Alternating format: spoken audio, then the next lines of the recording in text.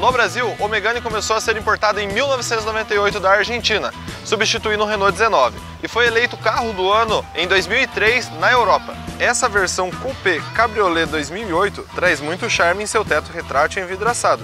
Com acionamento elétrico, leva 22 segundos até se esconder por completo no porta-malas. Além disso, bem equipado de série com direção elétrica, ar-condicionado digital, computador de bordo, controle de cruzeiro, sensores de luminosidade, de chuva e de obstáculos traseiros. Já na parte de segurança, conta com airbags frontais e laterais, freios com ABS, EBD e assistente de emergência AFU. Outro aspecto elogiável é a suspensão, que mantém o carro firme em retas durante frenagens e nas curvas mais fechadas. E o melhor, tudo isso você encontra aqui na Auto X por apenas 48.900.